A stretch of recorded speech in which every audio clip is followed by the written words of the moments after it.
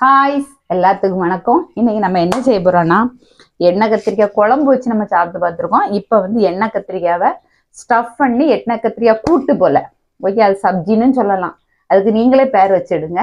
Stuffed எண்ணெய் கத்திரிக்காய் கூட்டு தான் நம்ம இன்னைக்கு பார்க்க போறோம். அதுக்கு நான் அதை எப்படி செய்ய போறேன்னா ஃபர்ஸ்ட் அதுக்கு எல்லா கத்திரிக்காய் இந்த மாதிரி கத்திரிக்காய் தான் எடுத்துக்கணும்.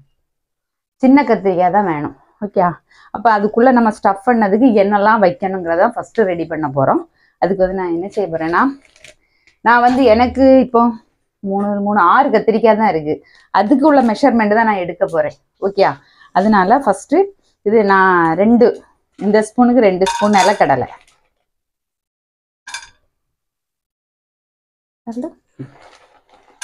ஒரு ரெண்டு கரண்டி எடுத்து முதல்ல வறுத்து நம்ம தோல் எடுக்கணும்ல அதுக்காக வேண்டி. ஏன்னா எல்லாம் சேர்த்து போட்டு தான் நம்ம வறுக்கணும். நான் வந்து இதுக்குள்ள நிலக்கடலை தோல் எடுக்கிறதுக்காக மட்டும்தான் தனியா வறுத்தேன் இதெல்லாம் தயிர் சாதத்துக்கெல்லாம் ஒயிட் ரைஸுக்கே சூப்பரா இருக்கும். இதுக்கு வந்து அடிஷ்னலா கறியோ குழம்போ ஒண்ணுமே வேண்டாம்.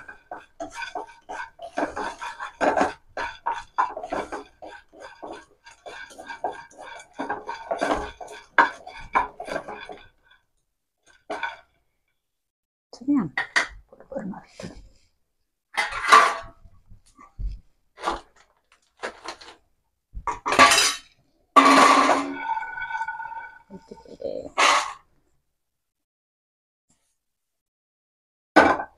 நான் எல்லாமே இந்த நிலக்கடலை ரெண்டு ஸ்பூன் எடுத்திருக்கேன். அதே மாதிரி நில கொத்தமல்லி பொடி இருந்தால் பொடி போடுங்க. ஆனால் சீடு போட்டு போட்டால் நல்லா இருக்கும்.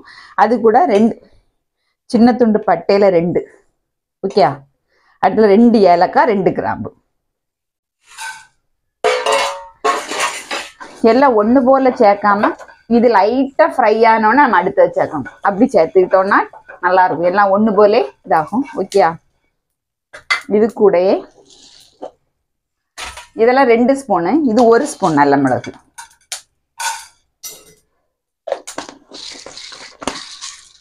அதுக்கப்புறம் அரை ஸ்பூன் ஜீரகம். இதுக்கப்புறம் வந்து ஆட் பண்ணது அரை ஸ்பூன் பெருஞ்சீரகம். நல்ல மிளகு ஒரு ஸ்பூன் ஆட் பண்ணோம்ல அதுக்கு ஈக்குவலாக அரை ஸ்பூன் பெருஞ்சீரகம் அரை ஸ்பூன் ஜீரகம். இதை வந்து நல்லா வறுத்துருவோம்.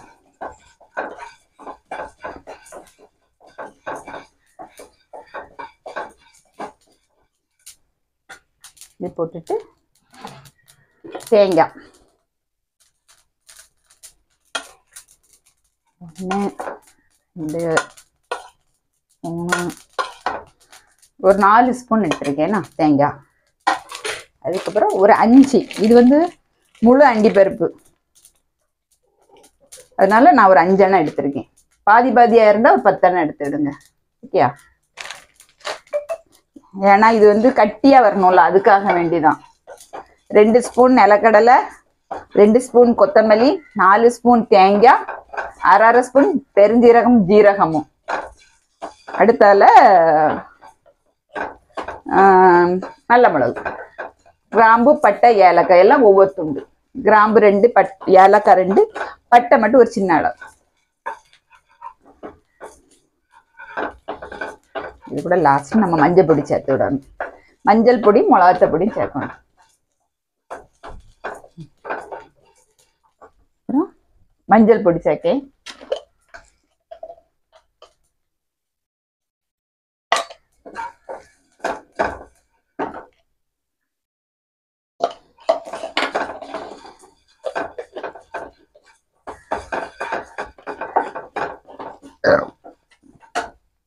அடுத்தால வத்தல் பொடி.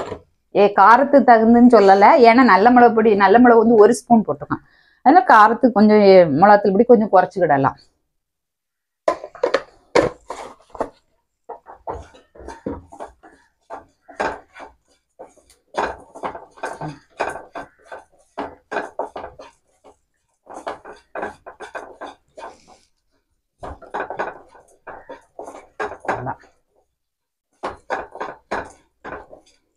அதுக்கப்புறம் இதை ஆஃப் பண்ணிருக்கேன். ஆஃப் பண்ணிட்டு நான் இதுக்குள்ள அடுத்தால சேர்க்க போறது வந்து ஒரு நாலஞ்சு பூடு. அதுக்கப்புறம் உள்ளி. உள்ளி வந்து ஒரு பல்லர். ஏன்னா நமக்கு கிரேவி வேணும்னு உள்ளவங்க தாராளமா உள்ளி சேர்த்துக்கிடலாம். பல்லாரி. நான் வந்து ஒரு பல்லாரி பெரிய பல்லாரில ஒரு பல்லாரி. ஏன்னா நமக்கு வந்து இதுதான் நான் ரைஸ்ல போட்டு நம்ம சாப்பிட போறோம். அப்போ அதுக்கு நமக்கு கண்டிப்பா கிரேவி தேவைப்படுமா? அதுக்காக வேண்டி நம்ம வந்து பல்லாரியை சேர்த்துக்கிடலாம். எவ்வளவு வேணுமோ அவ்வளவு சேர்த்துக்கிடலாம். அவ்வளோதான்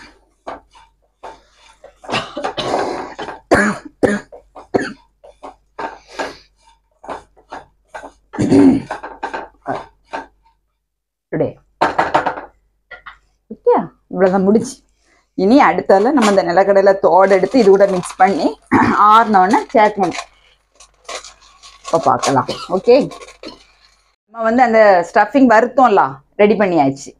இப்படி நல்ல நைஸாக அரைச்சி விடணும். ஓகேயா அதுக்கு என்ன செய்யணும்னா ஃபஸ்ட்டு கத்திரிக்காயில் முதலே கழுவி நல்லா தொடச்சி வச்சிருங்க. ஏன்னா எண்ணெயில் போட்டு வசக்கும் போது தண்ணி மேலே தரைக்கும். காம்பு ஃபுல்லாக கட் பண்ணாண்டா. ஓகேயா இப்படி கட் பண்ணா போதும். நான் ஃபஸ்ட்டு காம்பெல்லாம் கட் பண்ணி வச்சிருக்கேன்.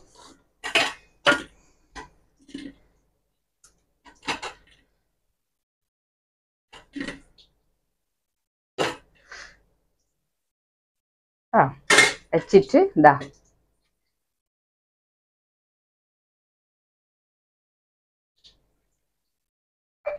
இப்படி நல்ல நீட்டமாக நாலு சைடும் தெரியணும்.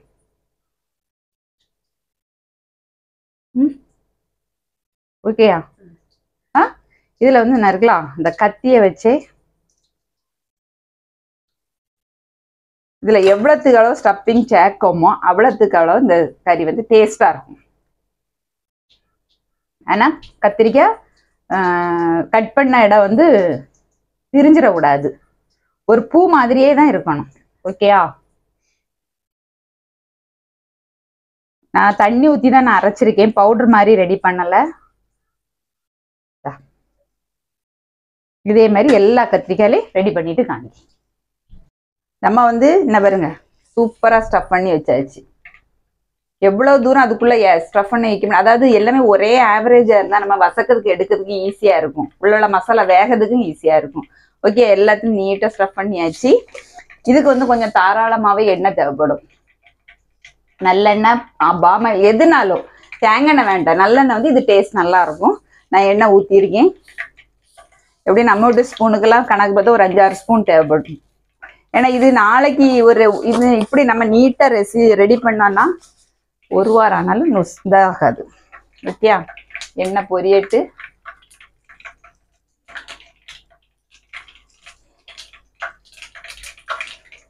வெள்ளைப்பூடு. ஒரு பத்து பதினஞ்சு பூடு. தட்டியும் போடலாம். நான் சின்ன பூடுனால அப்படியே போடு. பெரிய பூடாக இருந்தால் தட்டி போட்டுடலாம் யா கருவேப்பிலை.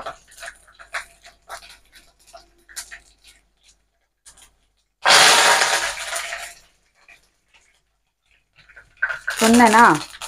ஆனால் தண்ணி ஒன்றுமே இல்லை. கருவேப்பிலை அப்படி தான் திரைக்கும்.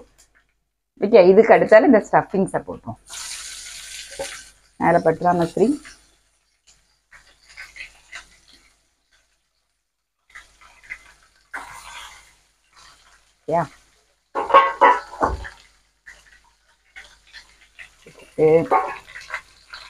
வந்து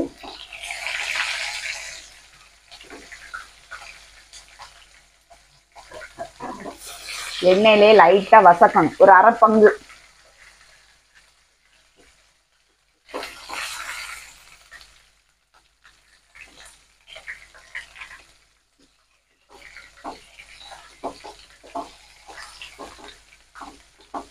இது லைட்டா இப்படி வசம் கட்டு இப்படி நம்ம வசக்கினால அந்த ஸ்டஃபிங்ஸ் வெளியே வரல. அதுக்கு தகுந்து நம்ம வந்து அதை அரைச்சி எடுத்துடணும் கட்டியா. ஒண்ணு உங்களுக்கு உள்ளி சேர்க்காம இருந்தீங்கன்னா பொடியாவே பொடிச்சு எடுத்துக்கிடலாம். நான் உள்ளி சேர்த்து கொஞ்சம் தண்ணியும் சேர்த்து அரைச்சிருக்கேன் ஓகேயா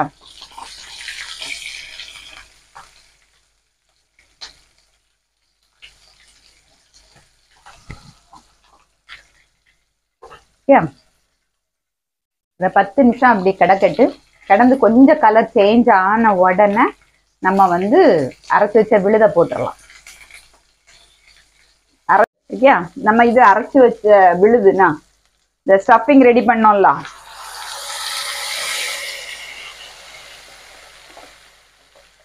இதுக்கு வந்து நிறைய தண்ணி தேவைப்படாது. கொஞ்சம் பார்த்து ஏன்னா நம்ம இது கூட்டு மாதிரி கட்டியாக தான் ரெடி பண்ணுவோம். இது இதுக்கடையில் ஒரு சின்ன துண்டு புளித்தண்ணி ஒரு நெல்லிக்காய் சின்ன நெல்லிக்காய் அளவு கொஞ்சமாக புளி சேர்த்து